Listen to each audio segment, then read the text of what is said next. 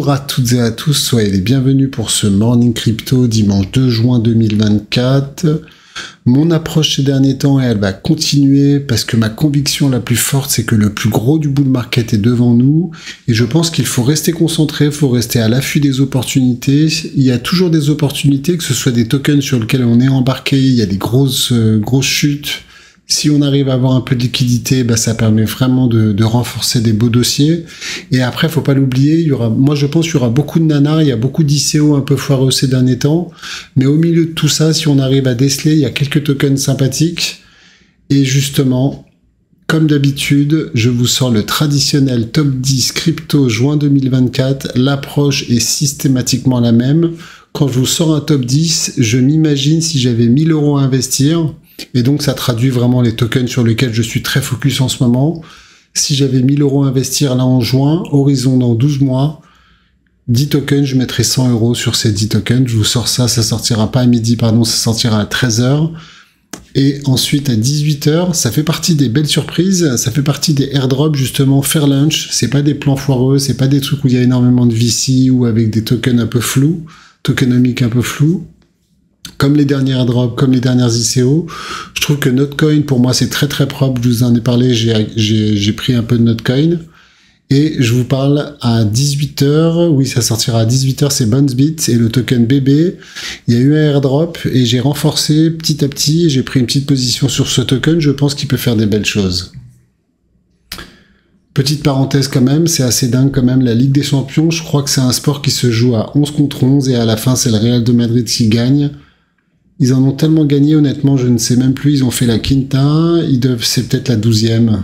C'est un truc complètement fou. Petite parenthèse, mais là, c'est au-delà du foot, parce que le Real de Madrid, dans le foot, c'est quand même assez incroyable. Ensuite, par rapport à la bourse, quand même, l'information de la semaine, c'est que le Nasdaq a fait un plus haut historique. Donc ça, c'est très intéressant. Mine de rien, il a mis plus de 3 ans. Donc la patience aussi, c'est pas que dans les cryptos, les cycles de 3-4 ans. Ici en 2021, novembre 2021, il a dû attendre euh, bah, voilà, juin 2024 pour refaire un ATH. Si vous aviez investi là, bah, c'était long aussi sur le Nasdaq, il n'y a pas que dans les cryptos. Ensuite, mine de rien, on dit souvent en bourse sell in May go and go away. Donc c'est vraiment une tradition et euh, je trouve que ça marche pas mal en bourse. Vous vendez, euh, alors pas forcément mai, moi je dirais plutôt après mars mars, avril, mai. Vous, vous faites des belles performances en général, je trouve, de novembre à mars. Vous vendez avril-mai et vous revenez en force en septembre-octobre. Et c'est vrai que ça marche souvent, mais ce mois-ci, malheureusement, c'est ça qui est bien avec ces statistiques. Elles sont là pour être euh, explosées. Et le Bitcoin a juste fait 16% euh, de hausse, par exemple. Donc euh, voilà, il y a plutôt une, une très belle perf.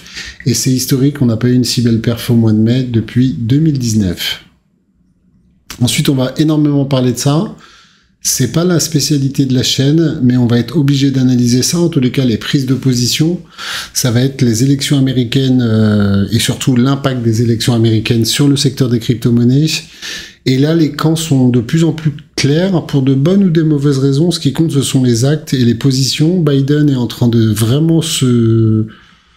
Il va même peut-être déposer un veto, on va aller voir ça. Et Trump, quels que soient les voilà pour pour telle ou telle raison, il devient de plus en plus pro crypto et donc euh, voilà à un moment donné, il me semble que c'est pratiquement 20% des Américains. Et ça c'est les chiffres officiels parce que vous le savez très bien qu'il y a beaucoup de gens qui peuvent euh, voilà il y a plein de plateformes, il n'y a pas besoin de KYC dans les DEX et autres. Et donc c'est 20 millions mais peut-être il y a 40 millions d'Américains qui ont des cryptos je pense pas qu'on vote essentiellement par rapport à la position des candidats sur les cryptos, mais ça va devenir un sujet important. Euh, si à un moment donné, c'est les, économies de 15% des Américains, ça peut avoir un poids, et pour l'instant, Trump euh, l'exploite le mieux, on peut dire, si on analyse comme ça avec du recul. Donc ça, c'est hyper intéressant. C'est Binance CZ, ça y est, il démarre ses 4 mois de prison. C'est le, le prisonnier américain le plus riche de l'histoire des États-Unis. Et ce qui nous explique, c'est qu'il va revenir dans le game euh, après tout ça. Donc on lui souhaite bon courage quand même, parce que c'est pas très clair quand même. Euh, voilà, 4, mois de prison, pour quelle raison Honnêtement, c'est pas très très clair. Il a acheté un peu sa, sa paix, mais euh, entre-temps, il y a 4 mois à passer en prison.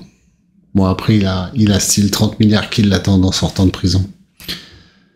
Ensuite, c'est intéressant parce que bien évidemment, ce qu'on se pose maintenant, donc on, bien évidemment, quand est-ce que va être commercialisé? La bonne surprise, c'est que ça peut être sur le mois de juin. Et euh, moi, je pense les trois principaux candidats pour les prochains ETF, parce que la brèche est ouverte, ça y est, le plus dur est fait, honnêtement. Après, que ce soit dans deux mois, dans six mois, dans un an, pour moi, c'est pas un sujet. C'est euh, pour moi les trois principaux candidats, c'est XRP, Solana et en numéro un pour moi, c'est Chainlink. Mais XRP aussi, et ça, ça pourrait vraiment être top par rapport à bah, tout simplement euh, ce triangle maléfique qu'on va aller voir sur XRP, qu'on connaît, connaît par cœur malheureusement. Donc ça c'est intéressant parce qu'il y a de plus en plus d'analystes et des gens vraiment euh, d'un certain niveau. Là c'est l'analyste de Bloomberg, James Seifert, qui nous explique que l'approbation de l'ETF c'était vraiment politique et c'était pas du tout euh, sous un angle financier, peut-être à la différence du Bitcoin. Et bien évidemment, on arrive dans une phase préélectorale qui est hyper importante où euh, je pense que n'importe qui aux États-Unis au niveau des, différents organismes politiques euh, à tous les niveaux, euh, au niveau de la Fed et autres, tout le monde euh, agit en fonction des, prochaines élections et des tendances à venir. Parce que bien évidemment, la politique, c'est savoir suivre les flots et les vents. Et donc, s'ils sentent que c'est Trump qui va gagner, bah, tout le monde va un peu s'aligner sur ce que pense Trump, tout simplement. Et donc, Joe Biden, au moins il assume parce qu'il a toujours été plus ou moins contre, les cryptos. Et là, surtout, il veut déposer son veto. Normalement, il y avait un texte qui devait être euh, poussé et qui devait passer ensuite devant la, chambre du Sénat. Et ben, ce qu'il va faire, c'est qu'il va peut-être mettre son veto même avant. Comme ça, le texte n'ira même pas au Sénat pour être voté, pour euh, tout simplement qu'il ne soit jamais voté, qu'il n'existe pas, qu'il ne passe pas même pas le premier filtre. C'est un peu dommage parce que c'était une réglementation sympathique qui vraiment affaiblissait la SEC par rapport aux cryptos. Et euh, je pense que c'était une énorme victoire. On va voir comment ça va se passer. Après, ce qui serait bien, c'est qu'ils laissent traîner, ils attendent le mois de novembre-décembre et qu'ils relancent le texte au mois de décembre. Je pense que c'est la meilleure stratégie.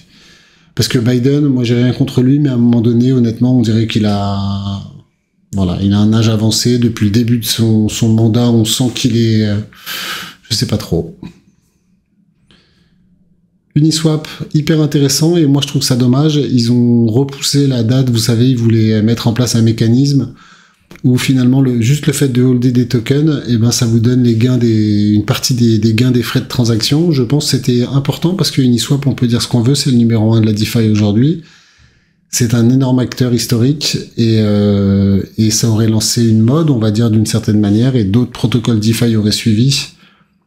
Euh, et, donc on espère que ça va se faire. Et le fait qu'ils aient décalé ça, bah forcément le token a un peu morflé, moins 9%. ensuite, on va parler un peu de RWA de Hondo. Moi, je vous avais fait un dossier, je vous ai dit que je rentrais pas sur ce dossier-là. Euh, c'est en train de cartonner, c'est en train de faire des ATH. Effectivement, graphiquement, on en a parlé ces derniers jours, ça fait une très très belle perf.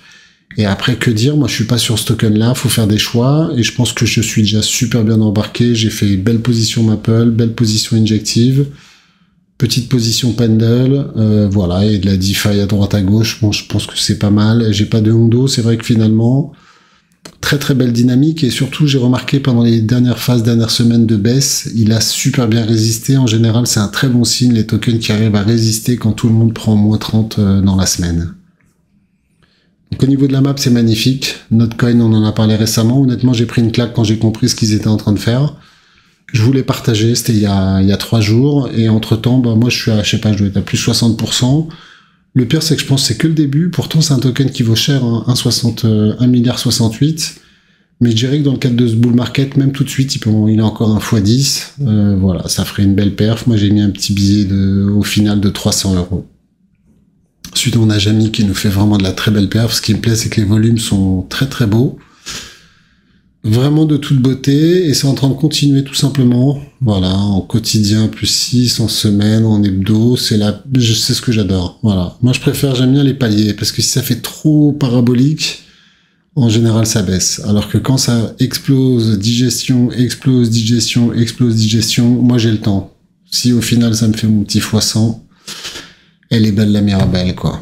Donc euh, au niveau du Bitcoin, sinon les volumes sont ridicules. Honnêtement, on dirait que la blockchain est à l'arrêt pratiquement. 12 milliards, ça faisait longtemps. 9 milliards sur l'Ethereum. Voilà, ça veut dire qu'à un moment donné, au début de l'ETF, je pense que les mecs de BlackRock et tout ça, ils bossaient même le week-end, parce que le week-end, on avait des 30 milliards. Là, on a des faibles volumes et l'été arrive petit à petit. Les gens sont moins là, mais on va aller voir, il y a toujours des très très belles opportunités à saisir. Donc on est à 67 008, on va aller voir, et 3008 sur l'Ethereum. Donc on commence par l'euro parce que moi je suis énormément l'euro et j'aime bien l'euro, il est en train de rebondir sur cette zone à peu près des 50. J'espère qu'on va aller exploser vers le nord. Ça sera toujours un petit indicateur euh, favorable pour imaginer euh, la deuxième jambe de ce fameux bull market. On a une première jambe ici haussière, là on digère. On entend la seconde et au niveau du RSI, on est en train de se rapprocher des 70. On ira voir, il y a peut-être des tokens sur lesquels il faut savoir prendre des bénéfices ou le regretter comme d'habitude. Après, il n'y en a pas beaucoup. Ensuite, Ethereum, bah, on a fait une super belle semaine, hein. vraiment magnifique. Magnifique semaine euh, la semaine dernière. Là, c'est une bougie d'hésitation, mais on est pareil sur des niveaux clés euh, comme, comme le Bitcoin exactement. Ensuite, Tao, c'est compliqué et il hésite autour des 50. Moi, mon pari, c'est qu'il va hésiter, il va finir par aller vers le nord parce qu'on est en bull market sur Tao et que je pense que ça va continuer. Après, si je me trompe, je trouverai le moyen, même si je commence à avoir une, euh, je me demande, euh, en fonction de son évolution à ce token-là, si un jour ça sera peut-être pas même ma plus grosse position sur mon portefeuille.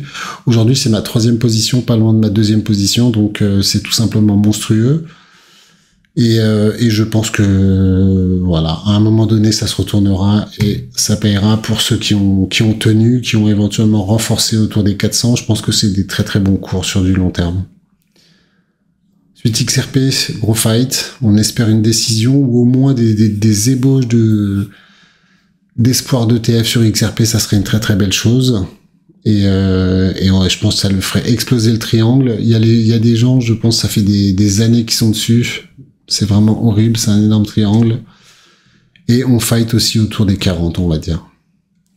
CKB, c'est compliqué. Après, il est encore pas arrivé aux 50. Je pense que le, craquage qui peut venir comme ici, c'est qu'ils viennent craquer encore autour des 48. Là, tout de suite, on a 53. Vous voyez, il reste pas grand chose, mais il faut un dernier craquage. Et si on a ce craquage, regardez la dernière fois qu'on a craqué, on est passé de, bon, on a fait au moins x10, quoi.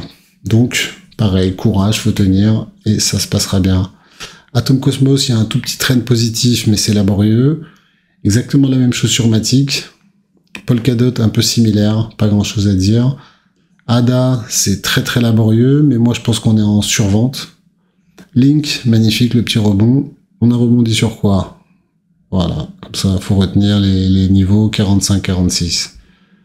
Stacks, moi je pense que c'est largement survendu, largement survendu, largement. Après ça peut continuer à baisser, je dis pas ça, hein, mais euh, continuer, commencer, ceux qui n'en ont pas ou ceux qui veulent renforcer, c'est un très très bon niveau. GRT, pour moi, c'est ça y est, le rebond, il a démarré ici. Ben, en fait, il a démarré ici, regardez, c'est au moment où il explose le, le bull flag. Regardez, ça part. Après, ça partira pas tout chousse, ça part en zigzag, mais ça part pour moi. Suite KDA, ça a l'air de rebondir sur 40. Océane, ça a l'air de chuter. Hein. Pourtant, on va avoir le merge, c'est le 13 pour rappel. DCR, j'aime bien. Moi, DCR, ça me plaît, ça tient les 50. J'espère juste que le RSI ne fait pas une épaule tête épaule. Ensuite, Encre, il a l'air de trouver du rebond. C'est un peu laborieux sur Encre en ce moment, on va dire. Mais il se rapproche des niveaux des 50. Pareil, la dernière fois qu'il allait chercher 50, c'était beau ensuite. QNT, l'une des plus grosses opportunités du top 100 du moment. Ouais, l'une des plus belles opportunités, c'est à 40, c'est du grand n'importe quoi. Bah, la dernière fois, on était là. Ouais, pareil, autour des 40. VET, j'espère qu'il va rebondir sur les 50. Jamy, petit break, petite pause. Si vous avez euh, acheté et que normalement vous êtes à peu près autour de x10 sur ce token-là, que vous n'avez pas de liquidité normalement à, remettre dans le marché des cryptos sur les trois prochains mois, franchement je pense qu'il est de bon ton. Il est raisonnable de se dire que prenez 10 à 30% de votre... Euh, voilà, vendez 10 à 30% de cette position. Tout simplement. Ah, pourtant, peut-être ça va continuer à exploser. On se rapproche des 80. Moi, personnellement, si j'avais pas de liquidité, ça se rapproche des 80 sur Jamy. C'est la première target. On en avait parlé. Peut-être que ça va aller à la deuxième et à la troisième, même peut-être plus haut. Mais c'est comme ça qu'il faut l'analyser. Si vous n'avez pas de liquidité normalement de, de prévu à remettre, parce qu'il faudra de la liquidité, je pense, sur les trois prochains mois, c'est une, une porte de sortie sur Jamis. Voilà, tout simplement. C'est ce qui est horrible avec le RSI, c'est qu'il nous alerte. Pourtant, on se dit, euh, on espère que c'est que le début et que ça va faire des bougies jusqu'à jusqu'au ciel. Mais il faut savoir être raisonnable. Ensuite, FTM, autour des 60, pas grand chose à dire. Celo, je pense qu'il va rebondir là sur les 50, je l'espère en tout cas. Zen, il a l'air de rebondir aussi.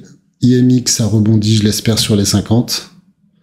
RNDR, le RSI, c'est du grand n'importe quoi ce qu'il fait, mais il est autour des 50-60. Hop. pour les plus audacieux, ça peut se tenter. Peu comme ici, il avait rebondi sur 40. Ouais, il a l'air de rebondir aussi. Ensuite, BNB, incroyable. Hein. Je vous en ai parlé hier. Je vous ai dit pour moi là, il y a un bull flag.